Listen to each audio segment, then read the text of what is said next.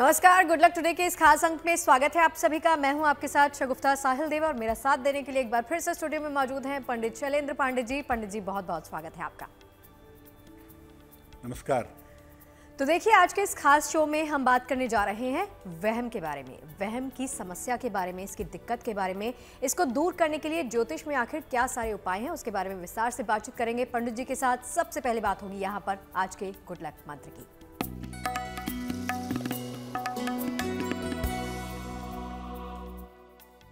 आप रास्ते में चल रहे हैं और रास्ते में आपको गिरा हुआ पैसा मिल गया, सिक्का मिल गया, नोट मिल गया, रास्ते चलते समय अगर धन मिल जाए तो अपने सर पर से एक बार घुमा लीजिए क्लॉकवाइज या एंटी क्लॉकवाइज और उसके बाद किसी निर्धन व्यक्ति को दान कर दीजिए।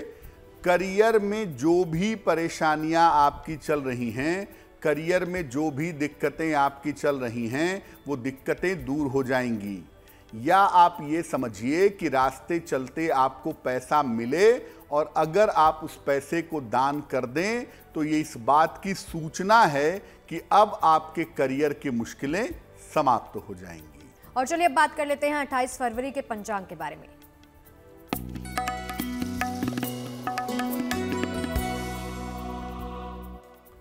दिनांक 28 फरवरी 2023 दिन मंगलवार। तिथि है फाल्गुन शुक्ल पक्ष की नवमी तिथि। नक्षत्र है रोहिणी नक्षत्र, प्रातः सात बज के बीस मिनट तक। चंद्रमा वृषभ राशि में संचरण कर रहे हैं, रात के आठ बज के बत्तीस मिनट तक। राहुकाल का समय दोपहर तीन बजे से लगभग चार बजकर तीस मिनट तक। उत्तर दिशा की तरफ़ यात्रा करने की मनाही है लेकिन अगर यात्रा करना ज़रूरी है मजबूरी है तो जरा सा गुड़ खाकर और भगवान का स्मरण करके यात्रा करेंगे तो मुश्किल से बचे रहेंगे। और चलिए आज के विषय की शुरुआत करते हैं। जैसे हमने शुरुआत में आपको बताया कि वहम के बारे में आज विस्तार से जानेंगे पंडित जी से। वहम की समस्या के पीछे आखिर कौन कौन से ग्रह होते हैं वो बताइए पंडित जी। वहम होता क्या है? देखिए, किसी भी चीज़ के बारे में जो चीज़ नहीं है या जो चीज़ होने वाली भी नहीं है, उसको लेकर मन में चिंता पैदा करना, उसको लेके अपने मन में समस्या पैदा करना, ये वहम है। वहम बहुत सारी चीज़ों का होता है। वहम आने वाले समय को लेकर होता है, अपने रिश्तों को लेकर होता है। बीमारियों का वहम सबसे ज़्यादा कॉमन वहम है कि आपको कोई बीमारी नहीं होती, लेकिन फिर भी आपको ऐसा अनुभव होता है कि आपको ये बीमारी है और उसका जो सिम्टम है, उसका जो लक्षण है, वो आपके शरीर में प्रकट होने लगता है। तो वहम की समस्या दरअसल माया है। वहम की समस्या मन से पैदा होती है। क्योंकि आप मन में विचार करते हैं उस चीज़ के बारे में, जिस चीज़ का अस्तित्व ही नहीं है, जो चीज़ आपके जीवन में नहीं है, आप उसके बारे में मन में चिंताएँ पैदा करते हैं और इसको हम कहते हैं वहम। अब चूँकि मामला मन का है तो जहाँ मामला मन का होगा, वहाँ पर इसका मुख्य ग्रह हो जाएगा चंद्रमा। चंद्रमा का मतलब ही मन होता है और मन अच्छा है, मन बुरा है, मन परेशान है, इन सब के पीछे चंद्रमा होता है।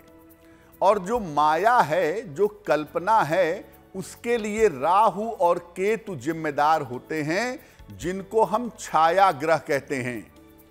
चंद्रमा के साथ छाया ग्रहों का संबंध बने, चंद्रमा राहु का संबंध बने चंद्रमा केतु का संबंध बने तो ये वहम को पुष्ट करता है और वहम को मज़बूत करता है।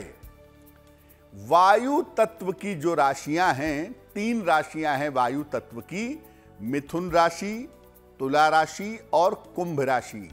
मिथुन, तुला और कुंभ, वायु तत्व की राशियों में सबसे ज़्यादा वहम की संभावना होती है।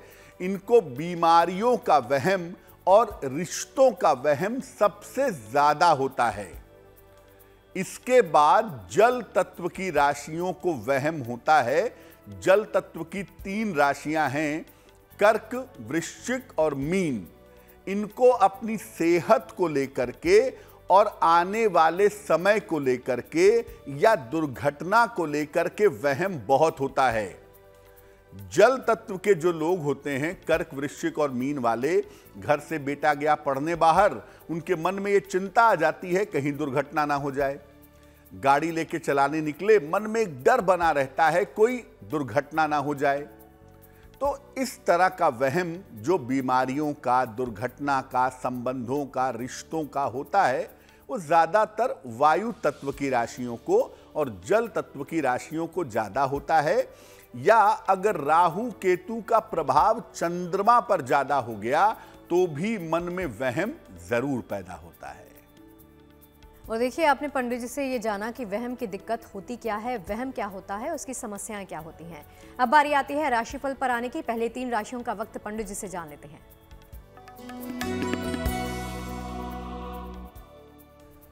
मेष राशि जैसा भी समय आपका चल रहा हो, लेकिन ये बात आप देख रहे होंगे कि परिवार का सहयोग आपके साथ बना हुआ है। कारोबार में आपकी स्थिति पहले से बेहतर हो रही है, लाभ हो रहा है, और सबसे अच्छी बात यह है कि आपका स्वास्थ्य लगातार अच्छा बना हुआ है। हनुमान चालीसा का अगर एक बार आप पाठ कर लें हनुमान जी की एक बार पूजा कर लें तो निश्चित रूप से आपके दिन की मुश्किलें हल हो जाएँगी। शुभ रंग जिसका प्रयोग करेंगे वो होगा धानी, और भाग्य का मीटर आपको नंबर दे रहा है 80 प्रतिशत। बहुत अच्छा भाग्य आपके साथ बना हुआ है। वृषभ राशि, स्थान परिवर्तन के योग बने हुए हैं। अचानक धन का लाभ इस समय आपको हो सकता है। महत्वपूर्ण काम भी इस समय आपका बन जाएगा, ये संभावना दिख रही है। किसी निर्धन व्यक्ति को अगर धन का दान कर दें तो आपके दिन की मुश्किलें हल हो जाएँगी। शुभ रंग होगा समुद्री हरा और भाग्य का मीटर आपको नंबर दे रहा है 90 प्रतिशत सर्वोत्तम भाग्य आपके साथ बना हुआ है।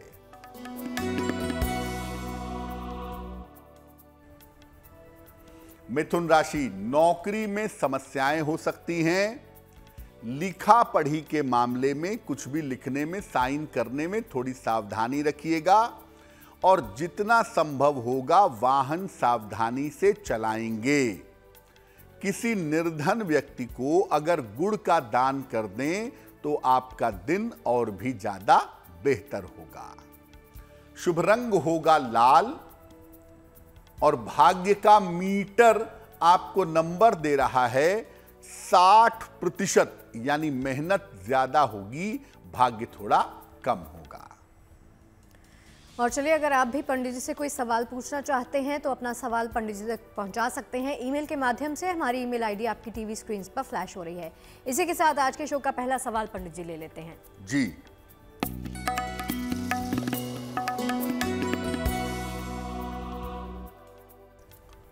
आज का पहला प्रश्न हमें सुखदेव जी ने लिखा है। सुखदेव जी बिहार से लिखते हैं, अपने पुत्र आशुतोष राणा के बारे में जानना चाहते हैं। आशुतोष राणा की जन्म तारीख है पाँच ऑब्लिक छः जनवरी उन्नीस सौ पंचानवे। जन्म का समय है रात के एक बज के उन्नीस मिनट। जन्म स्थान है भागलपुर, बिहार। ये कह रहे हैं कि बेटा जो है वो बिहार प्रशासनिक सेवा की और एसएससी की तैयारी कर रहा है। क्या बेटे को उसमें सफलता मिलेगी या किस तरह के करियर में बेटे को जाना चाहिए? सुखदेव जी, आपके पुत्र आशुतोष की कुंडली बनती है तुला लग्न की और इनकी राशि बनती है कुंभ राशि।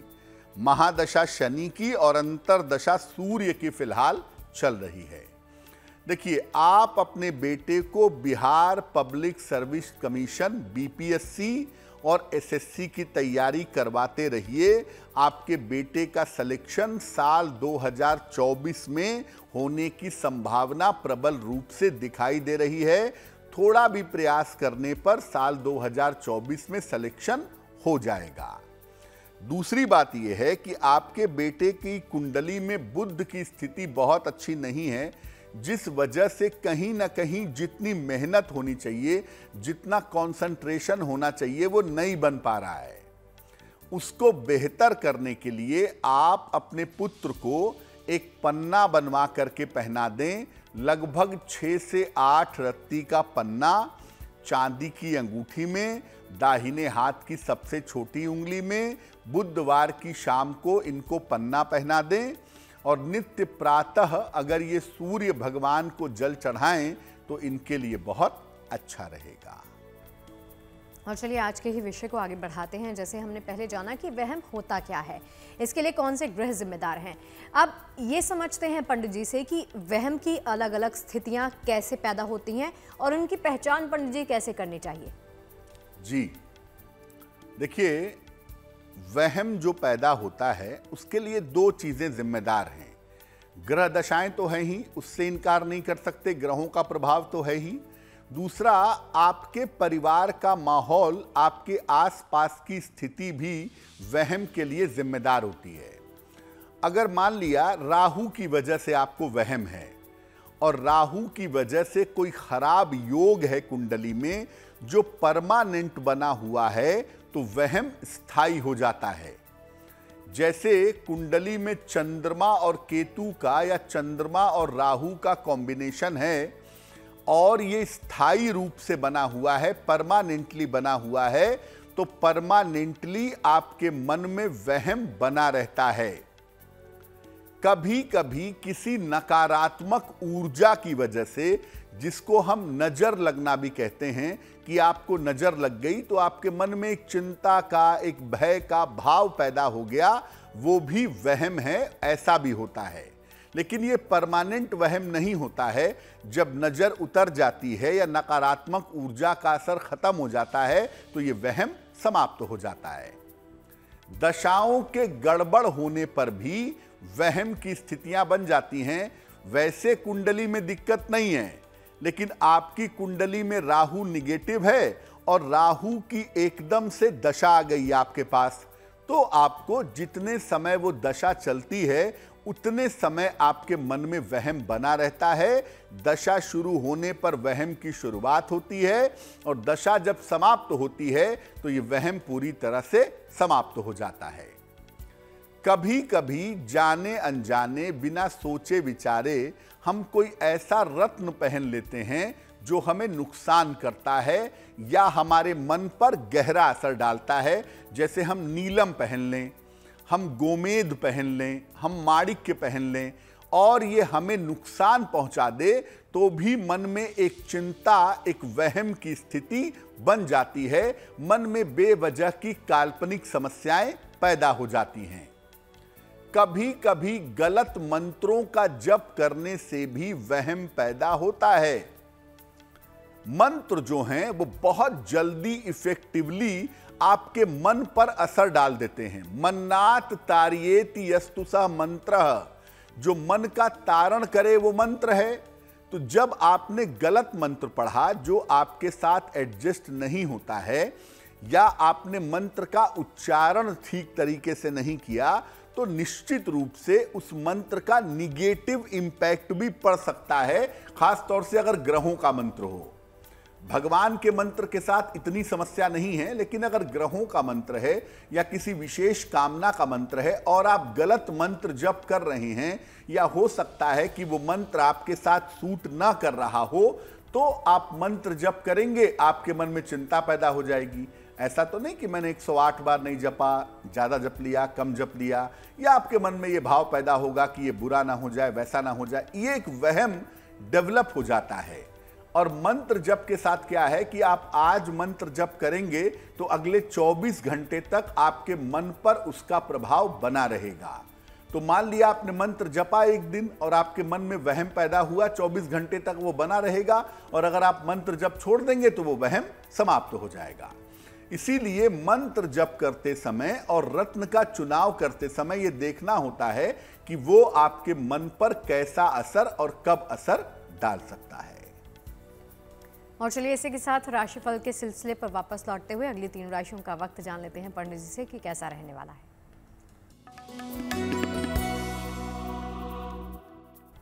कर्क राशि किसी प्रियजन से आपकी मुलाकात होती दिखाई दे रही है।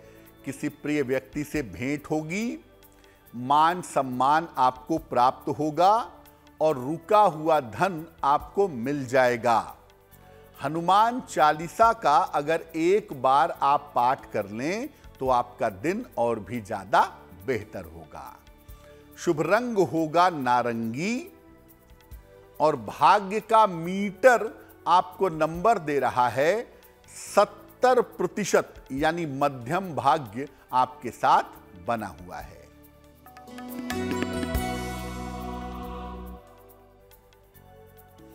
सिंह राशि नौकरी में परिवर्तन हो सकता है आपके।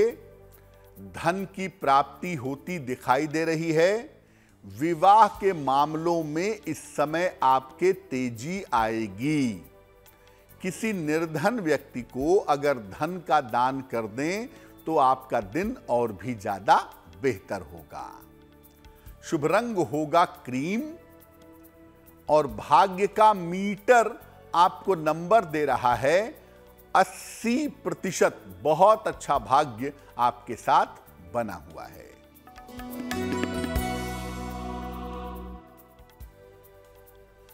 कन्या राशि, विवाद आपके हल हो जाएँगे, तनाव कम होगा जीवन में मधुरता आएगी और कारोबार के मामले में, व्यापार के मामले में आपको लाभ होगा। खाने पीने की वस्तु का अगर आप दान करें तो आपका दिन और भी ज़्यादा बेहतर होगा। शुभ रंग होगा आसमानी और भाग्य का मीटर आपको नंबर दे रहा है। पचहत्तर प्रतिशत उत्तम भाग्य आपके साथ बना हुआ है। और चलिए बाकी की राशियों का भी हाल पंडित जी से जानेंगे। अब बारी आती है आपका एक और सवाल लेने की। जी।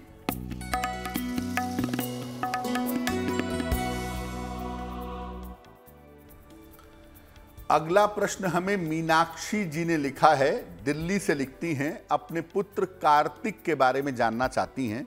कार्तिक की जन्म तारीख है 24 दिसंबर 2005 जन्म का समय है दो बज के पैंतीस मिनट दोपहर में जन्म स्थान है दिल्ली। ये कह रही हैं कि बेटा बारहवीं कक्षा की पढ़ाई कर रहा है, क्या आगे बेटा कंप्यूटर साइंस की पढ़ाई कर पाएगा, इंजीनियर बन पाएगा, भविष्य कैसा रहेगा? मीनाक्षी जी, आपके पुत्र कार्तिक की कुंडली बनती है मेष लग्न की और इनकी राशि बनती है कन्या। महादशा राहु की और अंतरदशा बृहस्पति की कुंडली में चल रही है। देखिए, आपके बेटे की कुंडली के हिसाब से निश्चित रूप से आपका बेटा इंजीनियरिंग में जाएगा और इंजीनियरिंग में भी कंप्यूटर या मैकेनिकल इंजीनियरिंग में जाने की संभावना ज़्यादा है। दूसरी बात यह है कि 2024 में आपके बेटे को अच्छा कॉलेज मिल सकता है, अच्छे कॉलेज में सिलेक्शन हो सकता है। तो अगर 2023 में सफलता नहीं मिलती तो चिंता की बात नहीं है 2024 तक इंतज़ार कर लीजिएगा। आपके बेटे की कुंडली में डिप्रेशन की या मानसिक अवसाद की संभावना बनती है तो अपने बेटे की मानसिक स्थितियों का बहुत ध्यान रखिएगा। मेंटल लेवल का बहुत ध्यान रखिएगा। किसी तरह का डिप्रेशन ना हो, किसी तरह के नशे के चक्कर में ना पड़े। इसका ध्यान बनाए रखना बहुत ज़रूरी होगा, क्योंकि मेंटल लेवल में थोड़ी समस्याएँ दिख रही हैं। फ़िलहाल आपके बेटे को किसी रत्न की आवश्यकता नहीं है, लेकिन आप अपने बेटे से नित्य प्रातः सूर्य भगवान को जल चढ़वाइए। और अपने बेटे को बोलिए कि 27 बार सुबह 27 बार शाम को गायत्री मंत्र का अगर जप करे तो उसके लिए बहुत अच्छा रहेगा। और चलिए पंडित जी से ये जानते हैं कि देखिए, किन्हीं आदतों की वजह से कई बार कई शख्स को वहम पैदा हो जाता है। तो पंडित जी, ये बताइए कि कौन कौन सी ऐसी आदतें हैं जो जिम्मेदार होती हैं वहम की दिक्कत को पैदा करने के लिए? वो तमाम आदतें जो आपके मन पर असर डालती हैं, बुरा असर डालती हैं, वो मन से संबंधित समस्याएँ भी पैदा करती हैं, वो वहम पैदा करती हैं। जैसे अगर आप रोज नहीं नहाते, साफ़ सफ़ाई से नहीं रहते तो आप निगेटिव एनर्जी को अट्रैक्ट करते हैं, नकारात्मक ऊर्जा आपके साथ चिपक जाती है। हम पूजा पाठ करने के पहले नहाते ही हैं। क्यों? ताकि मन ज़्यादा शांत हो सके। इसीलिए बिना स्नान करने से नहीं नहाएँगे आप रोज, साफ़ सफ़ाई से नहीं रहेंगे, आपको मानसिक समस्या होगी, वहम भी होगा। गलत और खराब संगति में अगर आप रहते हैं, आप किसी ऐसे व्यक्ति के साथ रहते हैं जो व्यक्ति की आदतें अच्छी नहीं हैं। वो नशा करता है, वो मांस मदिरा का सेवन करता है, वो लोगों को बुरी नज़र से देखता है और बुरी बातें आपके साथ शेयर करता है। हम अक्सर ये समझते हैं कि हम जो खाना खाते हैं वही हमारा आहार है। नहीं, हम जो देखते हैं वो हमारी आँखों का आहार है। हम जो सुनते हैं वो हमारे कान का आहार है। जो हम खुशबू लेते हैं वो हमारी नाक का आहार है। तो आहार आप हर जगह से ले रहे हैं, केवल खाना ही आहार नहीं होता है। तो जब आप आँखों से, कान से भी गलत आहार लेते हैं, गलत और खराब संगति में रहते हैं तो मन परेशान होगा, वहम पैदा ज़रूर होगा। अगर आप हरे वृक्ष काटते हैं तो याद रखिए कि ये एक बहुत बड़ा समस्या है, बहुत बड़ी समस्या है, इसलिए हरे वृक्ष काटने से आपको बचना चाहिए। मजबूरी है उस वृक्ष की वजह से घर गिर सकता है, उस वृक्ष की वजह से किसी की जान जा सकती है तो बात दूसरी है, अन्यथा जब तक संभव ना हो, तब तक हरे वृक्ष मत काटिए, बचाइए इसको, क्योंकि हरे वृक्ष काटने पर आप किसी का प्राण ले रहे हैं अपने लाभ के लिए। आपके मन पर इसका बुरा असर पड़ेगा और आपको तमाम मानसिक समस्याएँ, वहम की समस्याएँ परेशान करेंगी। अगर आपको नशे की आदत है तो भी आपको वहम होगा। देखिए, दुनिया भर में तमाम देवी देवताओं की पूजा, तमाम संत महात्मा, वो आपको जगाने का प्रयास कर रहे हैं। आप तो जन्म जन्मांतर से सोए हुए वैसे भी हैं। और अगर उसके बाद आप मदिरा पान करते हैं, नशा करते हैं, जिससे दिमागी संतुलन बिगड़ता है तो भाई, आप ये पक्के तौर पे जान लीजिए कि आपके मन की स्थिति अच्छी नहीं रहेगी। और मन की स्थिति अच्छी नहीं रहेगी तो आपको वहम होगा।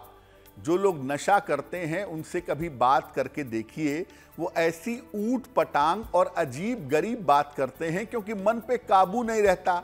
मन क्या सोचता है, क्या चाहता है, मन कहाँ चलता है, ये कंट्रोल कर पाना उनके लिए कठिन है। और चलिए इसी के साथ राशिफल पर वापस लौटते हुए अगली तीन राशियों का वक्त भी पंडित जी से जान लेते हैं।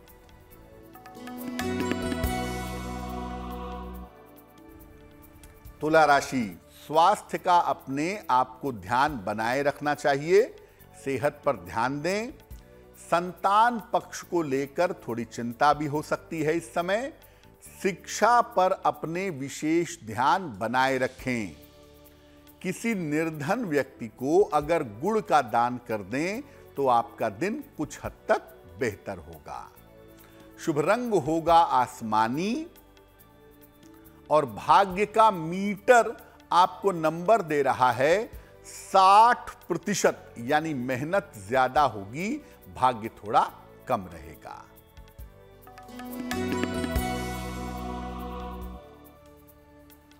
वृश्चिक राशि धन की स्थिति में सुधार होगा, सेहत में भी आपके सुधार होगा, परिवार में इस समय शुभ कार्य होने के योग बन रहे हैं। किसी निर्धन व्यक्ति को अगर आप धन का दान कर दें तो आपका दिन और भी ज़्यादा बेहतर होगा। शुभ रंग होगा सुनहरा, और भाग्य का मीटर आपको नंबर दे रहा है सत्य सत्तर प्रतिशत मध्यम भाग्य आपके साथ बना हुआ है।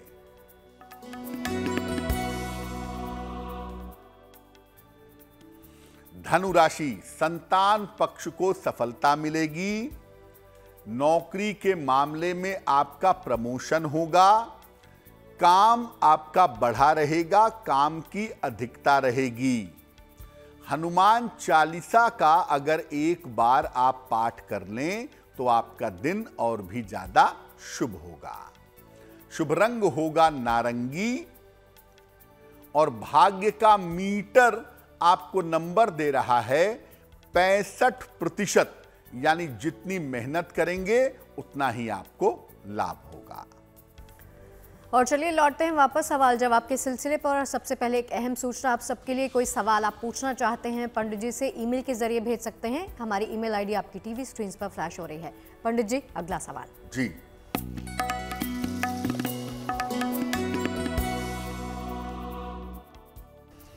अगला सवाल लें, उसके पहले आपसे एक निवेदन ये करते हैं कि बहुत बार आप हमें मेल भेजते हैं, आप जन्म की तारीख लिख देते हैं, समय नहीं लिखते, स्थान नहीं लिखते तो कृपा करके जब आप अपने सवाल भेजें तो जन्म की तारीख, जन्म का समय और जन्म का स्थान तीनों ठीक से लिखें, क्योंकि अगर आप ऐसा नहीं करेंगे तो आपकी महत्वपूर्ण समस्या होने के बावजूद भी हम उसका समाधान आपको नहीं बता पाएँगे, आपके मेल नहीं ले पाएँगे। तो कृपा करके पूरा डिटेल भेजें, जो महत्वपूर्ण प्रश्न होंगे, हम लेने की कोशिश अवश्य करेंगे। अगला प्रश्न हमें भोजराम निषाद जी ने लिखा है छत्तीसगढ़ से लिखते हैं 12 नवंबर 2001 का इनका जन्म है जन्म स्थान है बलौदा बाज़ार, छत्तीसगढ़। ये लिख रहे हैं कि मैं जीवन बीमा में सलाहकार हूँ, मेरा काम अच्छा नहीं चल रहा है, आगे का समय कैसा होगा, काम कैसा होगा और भविष्य कैसा रहेगा। भोजराम जी, आपकी राशि बनती है कन्या। और जो आपने जन्म का समय चूँकि स्पष्ट नहीं किया है तो हमने चंद्र कुंडली और सूर्य कुंडली के आधार पर समझने की कोशिश की है कि क्या करना चाहिए। देखिए, जो आपके लिए इंश्योरेंस का काम है, वो काम ठीक है, आप करते रहिए। ज्योतिष के हिसाब से 12 मार्च से आपके काम में सुधार होगा। लेकिन इंश्योरेंस के काम के अलावा अगर आप दवाइयों का काम करें अगर आप कपड़ों का काम करें, सौंदर्य प्रसाधन का काम करें तो ये काम आपके लिए ज़्यादा बेहतर होगा। इस काम को करने का, इस काम को चलाने का प्रयास करें और 12 मार्च के बाद समय वैसे भी आपका बेहतर दिखाई दे रहा है। फ़िलहाल आप एक पन्ना बनवा करके पहन लें, लगभग छः से आठ रत्ती का पन्ना, चांदी की अंगूठी में, दाहिने हाथ की सबसे छोटी उंगली में बुधवार की शाम को पन्ना पहनने से आपको लाभ होगा। और दूसरा काम करें, रोज सुबह 108 बार गणेश जी के मंत्र का जप करें। ओम गंग गणपतये नमः। ये उपाय करें, निश्चित रूप से आपकी मुश्किलें हल हो जाएँगी।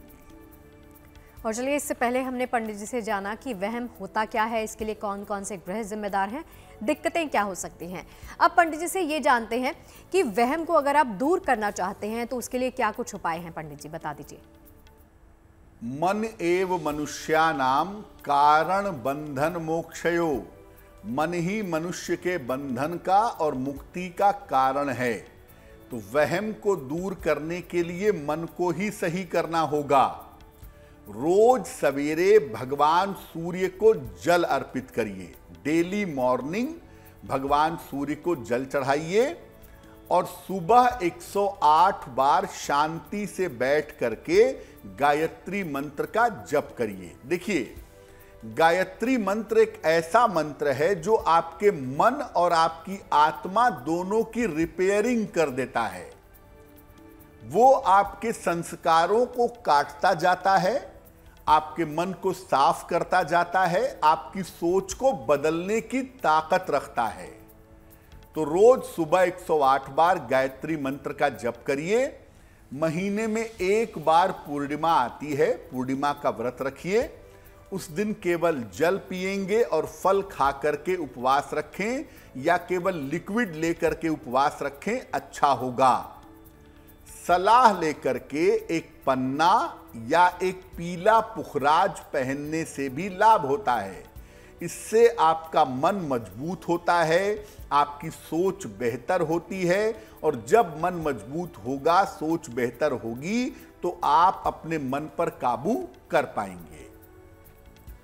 चंदन की सुगंध का सैंडलवुड का प्रयोग अगर आप करें चंदन की सुगंध वाली चीज़ों का आप प्रयोग करें या चंदन की सुगंध नियमित रूप से लगाएँ तो जो आपके अंदर नकारात्मक विचार हैं या जो कल्पना में आप समस्याएँ अपने मन में पैदा कर रहे हैं, उन समस्याओं को दूर करना आपके लिए आसान होगा। और चलिए राशिफल के सिलसिले पर वापस लौटते हुए बात कर लेते हैं मकर कुंभ और मीन राशि की। मकर राशि मानसिक स्थिति में आपके सुधार होता दिख रहा है। मन आपका पहले की तुलना में बेहतर होगा। करियर में लाभ के योग बन रहे हैं। पारिवारिक समस्याएँ इस समय आपकी हल होंगी।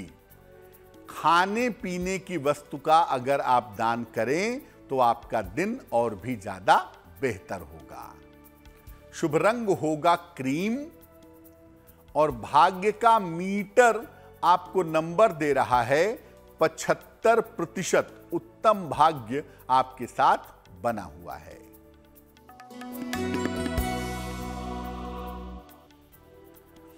कुंभ राशि, बेवजह के तनाव से आपको बचना चाहिए। अपने स्वास्थ्य का थोड़ा सा ध्यान इस समय बनाए रखें। और अपने काम को मैनेज करने का प्रयास करें। किसी निर्धन व्यक्ति को अगर गुड़ का दान कर दें तो आपका दिन कुछ हद तक बेहतर होगा। शुभ रंग होगा लाल और भाग्य का मीटर आपको नंबर दे रहा है। 60 प्रतिशत यानी मेहनत ज़्यादा होगी, भाग्य थोड़ा कम रहेगा।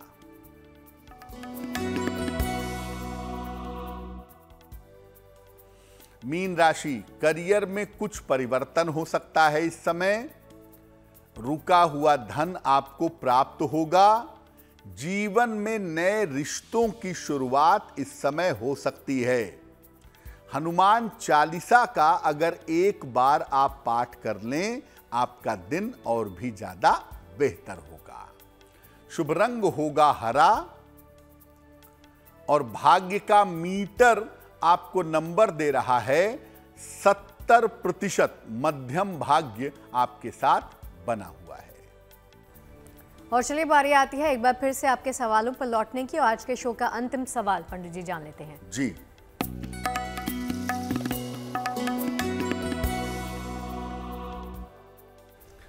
आज का अंतिम प्रश्न हमें ख्याति ने लिखा है। ख्याति जी सहारनपुर से लिखती हैं। इनकी जन्म की तारीख है 22 नवंबर उन्नीस सौ बानवे। जन्म का समय है 6 बजे सवेरे। जन्म स्थान है बिजनौर, उत्तर प्रदेश। ये कह रही हैं कि मेरा विवाह कब होगा, प्रेम विवाह होगा, अरेंज मैरिज होगी। अभी मैं प्राइवेट नौकरी में हूँ, क्या मेरी सरकारी नौकरी लगेगी? और मेरा स्वास्थ्य जब खराब होता है तो जल्दी ठीक नहीं होता, क्या उपाय करना चाहिए? ख्याति कुंडली आपकी बनती है तुला लग्न की और तुला राशि की, महादशा बृहस्पति की और अंतरदशा चंद्रमा की फ़िलहाल चल रही है। ज्योतिष के हिसाब से साल 2023 के अंत में या 2024 के आरंभ में आपका विवाह होने के योग ज़रूर दिखाई देते हैं। और आपका विवाह आपकी अपनी इच्छा से किसी जाने पहचाने व्यक्ति के साथ होना चाहिए, ये संभावना आपके लिए बन रही है।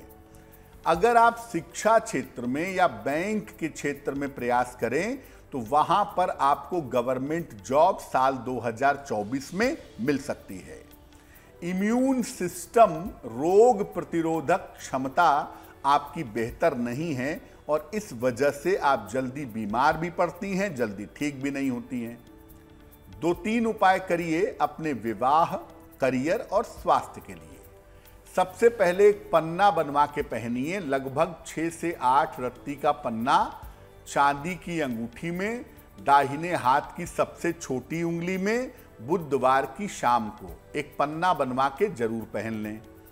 दूसरा, सुबह और शाम दोनों समय 108 बार नमः शिवाय का जप करें और हर शनिवार की शाम को पीपल के नीचे सरसों के तेल का दीपक जलाएँ, आपकी स्थिति में सुधार होना शुरू हो जाएगा। पंडित जी, अक्सर हमने देखा है कि बहुत सारे लोगों को आमतौर पर बीमारियों को लेकर वहम हो जाता है कि हमें ये बीमारी हो सकती है, हमें ये बीमारी हो रही है। तो उस अवस्था में हमें किस प्रकार के उपाय करने चाहिए या पूजा करनी चाहिए जिससे वहम आपके दूर हो सके?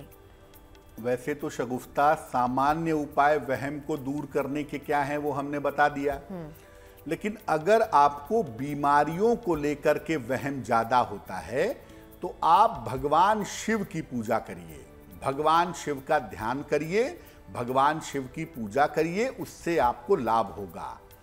और मैं तो ये कहूँगा कि अगर बीमारियों को लेकर के आपके मन में हमेशा चिंता रहती है, हमेशा वहम रहता है तो आप खाते, पीते, चलते, फिरते, उठते, बैठते, नमः शिवाय नमः शिवाय, ये जो नाम है भगवान शिव का, नमः शिवाय नमः शिवाय इसका आप निरंतर जप करते रहिए। जितना ज़्यादा से ज़्यादा इस मंत्र का आप जप करेंगे, नमः शिवाय को हर समय बोलेंगे, हर समय कहते रहेंगे तो उससे ये होगा कि आपका मन इधर उधर जाएगा ही नहीं।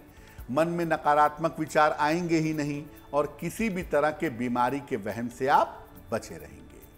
और चलिए इसी के साथ पंडित जी से जान लेते हैं कि जिन तमाम लोगों का जन्मदिन है 28 फरवरी को उनका वक्त कैसा रहेगा।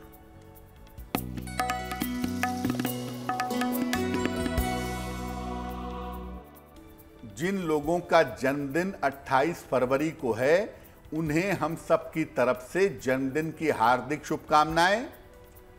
आने वाले वर्ष में आपके स्थान परिवर्तन के योग बन रहे हैं। अविवाहितों का विवाह इस साल में हो सकता है, लेकिन आप अपने करियर के निर्णयों में इस साल सावधानी रखिएगा। धन की स्थिति में थोड़ा सा उतार चढ़ाव आपके रह सकता है। क्या करना चाहिए? पूरे साल भर भगवान सूर्य की अगर आप उपासना करें तो ये वर्ष आपके लिए बहुत अच्छा रहेगा। और चलिए इसी के साथ पंडित जी से जान लेते हैं आज की जिज्ञासा के बारे में। आज की जिज्ञासा है कि क्या पूजा स्थान पर किसी भी ऑयल का, किसी भी तेल का दीपक जला सकते हैं? देखिए, पूजा स्थान पर सामान्यतः तिल के तेल का या घी का दीपक जलाना ज़्यादा बेहतर होता है। विशेष दशाओं में खास तौर से जब हनुमान जी की पूजा की बात आती है, तब आप चमेली के तेल का दीपक जला सकते हैं। लेकिन सामान्य स्थितियों में 90 प्रतिशत मामलों में पूजा स्थान पर सरसों के तेल का दीपक नहीं जलाना चाहिए। और चलिए इसी के साथ पंडित जी से जान लेते हैं 28 फरवरी के शुभ पहर के बारे में।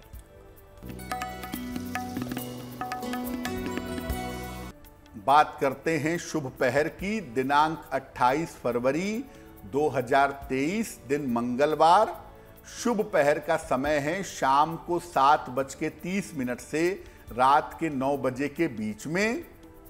इस समय में हनुमान जी को लाल फूल अर्पित करिएगा। इससे आपकी कर्ज की और आपकी आर्थिक समस्याएँ निश्चित रूप से हल होंगी। लेकिन करेंगे शुभ पहर में ही समय फिर से नोट करें। 28 फरवरी मंगलवार शाम को सात बज के तीस मिनट से रात के नौ बजे के बीच में। और देखिए इस शो में हम अक्सर बात करते हैं गुडलक राशि के बारे में तो आज की गुडलक राशि भी पंडित जी से जान लेते हैं।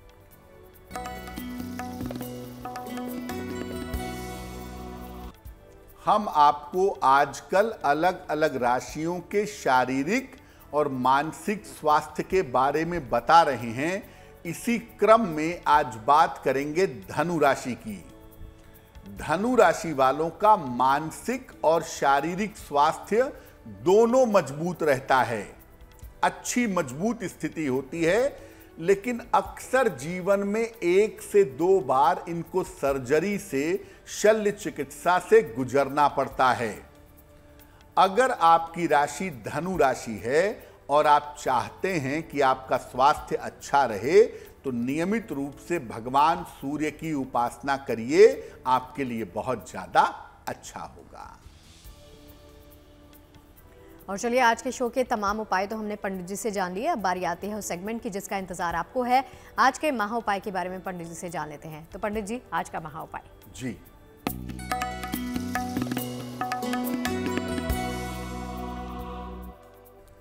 अगर आपका पैसा बेवजह खर्च हो रहा हो, पैसा आता तो हो, लेकिन रुकता नहीं हो, अनावश्यक खर्च होता हो, क्या करना चाहिए?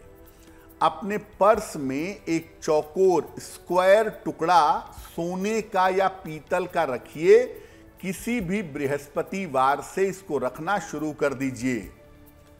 किसी भी शनिवार को कुछ सिक्कों का दान करिए किसी गरीब आदमी को अगर आप ऐसा नियमित रूप से करते हैं धन आएगा भी बचेगा भी अनावश्यक धन खर्च आपका नहीं होगा।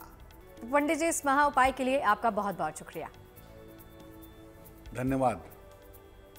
तो चलिए आज के इस खास एपिसोड में फ़िलहाल के लिए इतना ही। इजाज़त दीजिए। बाकी खबरें जारी हैं आप देखते रहिए गुड न्यूज़ टुडे